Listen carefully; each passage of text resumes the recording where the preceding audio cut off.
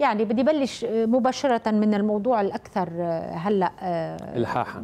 إلحاح لأ اللي اللي أثار لغط يعني خلينا نقول واستدعى مؤتمر صحفي امبارح من وزير الشؤون الاجتماعية وموضوع المساعدات ووقف المساعدات أو تاجيلها إلى كم يوم وطلعت الصرخة وجهات يلي اشتكت من موضوع الخلل يلي صاير بهذه اللوائح. خلينا نحكي عن موضوع هيدا بالتحديد. مين مد إيده على لوائح الفقراء في لبنان؟ هيدا سؤال كتير مهم بيحتاج لكثير من الاستفاضة بالجواب عليه. ولكن معلي هلا عصر رح عصر عصر النفقات. رح أختصر لك بمقدمة اشرح فيها عن الواقع اللي استوجب أنه نستعمل هذه البيانات بالدرجة الأولى. نحن كلنا بنعرف إنه في حاجة ملحة بلبنان هلأ بعد أزمة الكورونا على الصعيد الاقتصادي ملحة جدا للتدخل الحكومي وبالتالي كان في مبادرة من وزارة الشؤون الاجتماعية وزير الشؤون الاجتماعيه ودولة رئيس مجلس الوزراء لإنشاء مثل برنامج للتكافل الاجتماعي. بس كان في هاجس أساسي عندهم إنه تعتمد معايير شفافة وموضوعية و... و... وعالمية لحتى نقدر نوصل للمستفيدين المستحقين. بس هذه الآلية التقنية بحاجة كانت لوقت لحتى تقدر توصل للعالم عبر البلديات والمخاتير وتتجمع المعلومات وتت وتتقسم البيانات. فارتأى دولة رئيس الحكومة أنه تتوزع المساعدات كاستجابة سريعة على فئات من المجتمع هي أكثر حاجة وتأثرا بموضوع الكورونا. منهم منهم سائقين السيارات العموميين أساتذة أو عفوا أهالي التلاميذ بالمدارس الرسمية والأسر الأكثر فقرا. وأيضا جرحى وجرحى الألغام. الألغام نعم. وبالتالي هذه كانت الأولوية حتى نوزع المساعدات على على هذه الفئات المتضررة ومثل ما بنعرف نحن بدولة للأسف تفتقد إلى البيانات وهذه شغلة كثير كثير مهمة وأساسية لأنه نحن لما بدنا نعالج أي موضوع ما عندنا بيانات محددة ودقيقة تقدر تعطينا انعكاس حقيقي للواقع الموجود بلبنان. نعم.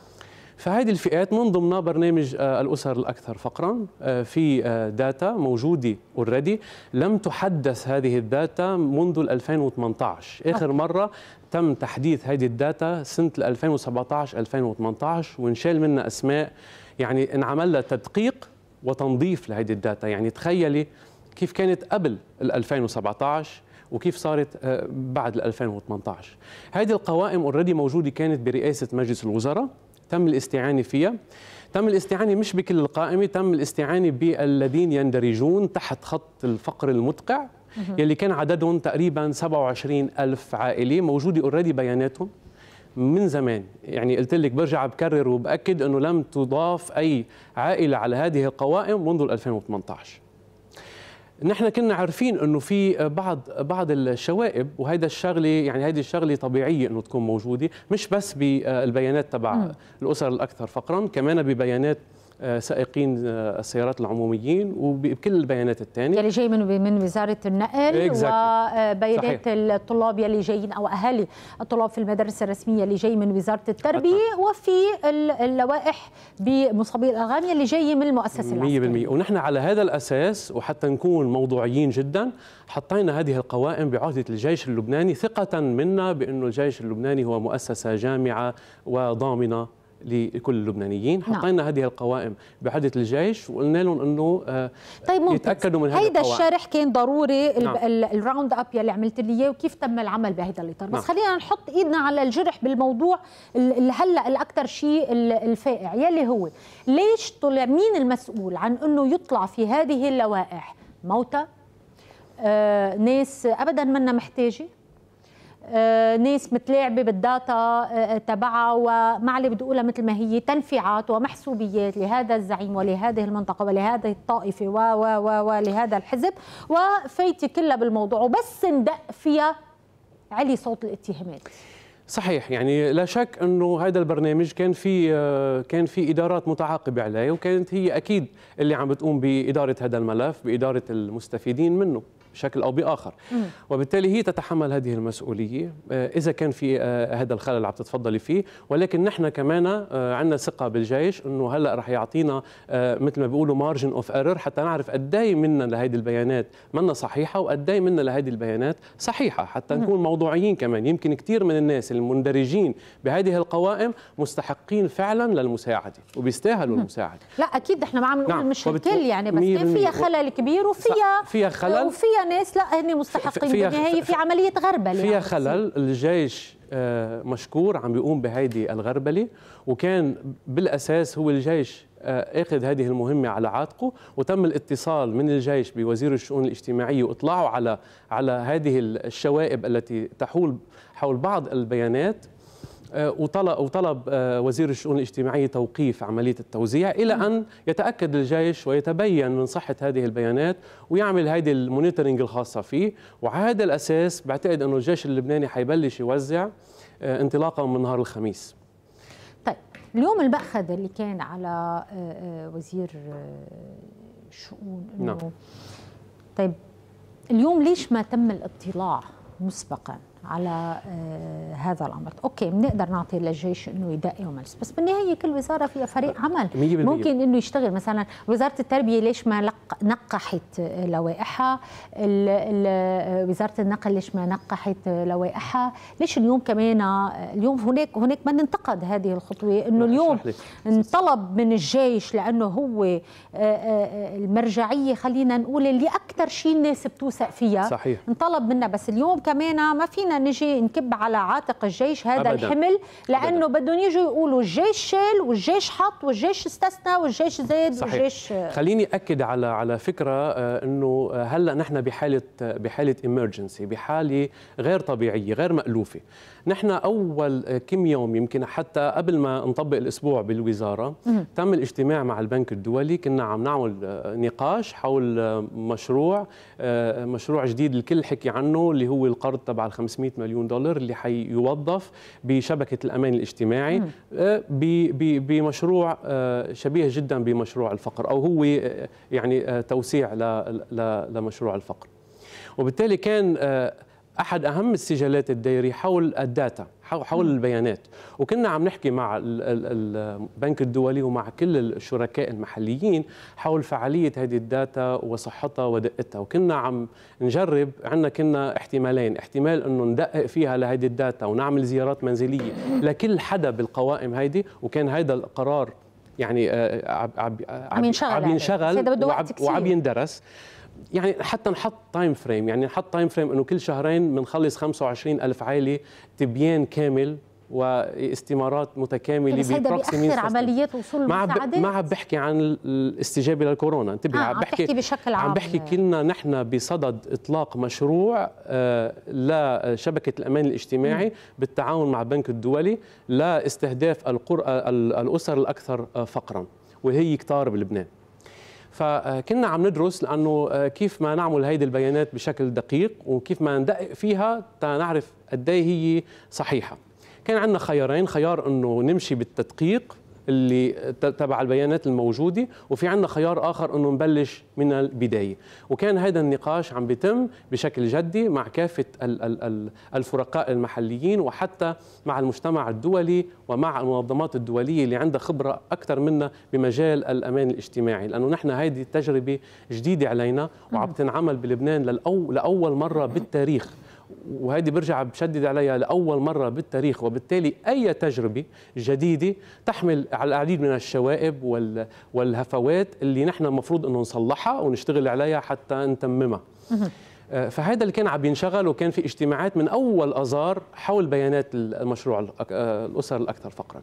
ولكن لما جينا حتى نعمل مشروع الاستجابة للكورونا كنا مضطرين مضطرين انه نكون عم عم نعمل استجابة سريعة. وبالتالي كان الجيش اللبناني هو الجهة الضامنة لعملية التأكد من هذه البيانات والتبيان إذا كانت صحيحة فعلا أو إذا كان فيها هذه اللي تفضلتي فيه من تحشيكات أو من آه، بيانات غير دقيقة. نحن حطيناها بعهده الجيش اللبناني ثقة منا بهذه المؤسسة. ولأنه نحن عارفين إنه هذه البيانات يمكن تشوبها شوائب. أكيد مش يمكن يعني, يعني حكما نحن كنا على هيدا لأنه لأنه من من أي سنة يعني صايرة وتغير يعني آخر مرة تم تحديثها للبي أو مش تحديثها 17 18 اكزاكتلي exactly. أوكي. طيب اليوم أخذت خلينا نقول منحى سياسي بهذا آه، الإطار وطبيعي. وكان من أكثر الناس اللي شايلين الحرب وعم يقصفوا على آه، وزير الشؤون الاجتماعية رمزي المشرفية هن خلينا نقول حزب التقدم الاشتراكي. بكل بساطة ما اذا القصة درزية درزية يعني بس إنه الفكرة هي آه، هيك. هلأ البعض قال إنه كان في خلينا نقول امتعاض لأنه بعض يلي تم شطبهم من اللوائح كانوا محسوبيات لفريق دون آخر علما إنه آه، تبين على الأرض إنه لا ما كانوا بحاجة يعني يلي انشطبوا هن الناس يلي صحيح. منهم بحاجة بس علي الدوز يلي استدعى اليوم آه، رد ببيان من آه، معالي وزير الشؤون الاجتماعية بيقول إنه رد على البيانات والتغريدات المتتالية الصادرة عن نواب حاليين وزراء سابقين قال إلا أن وقع إنه أنا عملت مؤتمر صحافي شرحت فيه إلا أنا وأخذت قرار بعدم الرد إلا ان وقاحه البعض تخطت المعقول فطلعنا أحدهم بكلام عن العفة والطهارة واتهمنا بالتسييس والكيدية واعداء اللوائح الانتخابية وما نعم. خليني كمان أقرأ تغريدتين للوزير السابق وائل أبو فعور كانوا واضحين كقرص الشمس مثل ما هو ذاكر. عشوائية خطه الحكومة لمساعدة الفقراء بانت اليوم كقرص الشمس. أموات يحتاجون للمساعدة النقدية وموظفون حاليون ومتقاعدون في القطاع العام يقبضون رواتبهم فيما فقراء محقون لا ترد اسماءهم وتسييس عبر لوائح حزبية استبعاد لقاعدة معلومات وزارة الشؤون لدورها بالكامل لكن الحكومة مستقلة وشفافة. تبع بتغريدة شكرا لمؤسسه الجيش اللبناني على وقف توزيع المساعدات النقدية نتيجة العشوائية والتسييس وغياب العدالة وتحية لرؤساء البلديات ومختير راضي وحرصوا على مبدأ العدالة. عم يشتغل انتخابات آه، رمزي مشرفية والحزب آه، الديمقراطي اللبناني. رح أقول لك كلام قاله آه، الحكيم سقراط قال الحقيقة الكلية كالشمس الساطعة في السماء الصافية. نحن لا نستطيع أن نراها سوى بانعكاسها في الماء. وبالتالي آه، هو شايفها كالحقيقة المجردة الساطعة. لازم أن تقترن بالأدلة والبراهين. يجب أن تقترن بالأسماء وليس بالاتهامات. وتجاوبك على الموضوع هذا أنا برأيي إنه في خلل بس خليني أقول لك رأيي الشخصي في الموضوع. فضل. رأيي الشخصي أنه آه، نحن بواقع اجتماعي واقتصادي صعب هلا من المعيب تسييس أي عمل. ومن المعيب إطلاق الاتهامات من دون أدلة واضحة وصريحة. وكمان نحن ضد نحن ضد استخدام المنبر الطائفي لأنه آه، مثل رح أقول لك إياها بالكلمة الجبلية لما مثل ما هي. لما تحز لما تحز المحزوزية. ما حدا بيزايد علينا على كرامة طائفة الموحدين الدروز. هيدي شغلة خارج الحسبان. لمن تحز المحزوزيه ولكن نحن منا شايفين في خطر داهم على هذه الطائفة هذه الطائفة كريمة ولها موقعها ولا يمكن لأحد أن يستثنيها. هذه خليها تكون واضحة للجميع. م. تنحكي عن الاستغلال السياسي نحن بواقع هلأ منا بوارد انه نفوت بالمشاحنات السياسية لأنه في عندك واقع حسب الناس واقع اجتماعي يجب أن تتم الاستجابة فيه بمعيار واضح وشفاف. وعلى هذا الأساس تم الاعتماد المعيار اللي هلأ ما نحكي عنه اللي هو عبر البلديات وعبر المخاتير يلي هي بتشكل بتشكل آه، سلطة محلية منتخبة للناس. يعني هن الناس عم بيروحوا عند سلطة هن منتخبينها حتى يقدموا هيدي الاستمارات. الاستمارة فيها 27 سؤال سؤال مدر... أسئلة مدروسة جدا إلها إلها grades عم يجاوب المواطن على هذا السؤال. عم بتروح electronically من دون أي تدخل.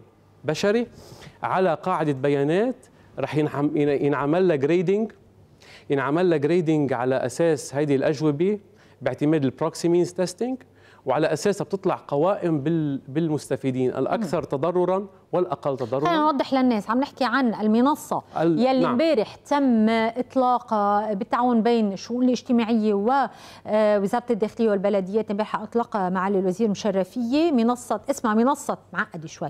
منصة البلديات المشتركة للتقييم والتنسيق والمتابعة, والمتابعة مختصرة ب IMPACT. IMPACT نعم. IMPACT خلينا بس نشرح للناس لأنه كمان مش مش مش سهل التعاطي مع آه، هيدي المنصات الإلكترونية خاصة صحيح. بالقرى. خلينا نقول مش كل الناس آه، مش آه، صحيح. تقدر تعرف تتعامل مع هذا الشغل اونلاين ومع الإنترنت نحن من من, من, من اشرح لك بس بشكل أو بآخر عن هذا الموضوع. نحن من حرصنا للموضوعية والشفافية. عملنا عدة يعني هذه كمان لأول مرة بالتاريخ اللبناني بتصير بمسألة التنسيق والتعاون بين م. كل الإدارات. يعني عندنا نحن وزارة الشؤون الاجتماعية عندنا وزارة الدفاع الوطني في عندنا آه، مؤسسة الجيش آه، في عندنا وزارة الداخلية آه، في عندنا التفتيش المركزي في عندنا رئاسة الحكومة وكمان في عندنا السلطات المحلية البلديات والمخاتير. يعني أنت شايفة قد إيه في هيدي التفاعل بين هيدي الإدارات وفي كمان دور للمجتمع المدني إذا بتحبي بنحكي عنه بس كمان هذا إذا سمح الوقت أكيد. إذا سمح الوقت. هلأ هيدي الاستمارة كانت مشغولة بطريقة أنه تروح من دون تدخل بشري على البلديات. البلديات بتجاوب على الأسئلة مثل ما ذكرت وبتروح هذه البيانات لوزارة الداخلية ومنها على رئاسة الحكومة وبتنحط على هذا ال system وبينعمل لها هيدي ال grading وكنا حريصين إنه الجهة التي تستحصل على المعلومة ليست الجهة التي تعطي ال ال ال يعني المساعدة وليست الجهة التي تقوم, تقوم بالتدقيق. okay. صحيح.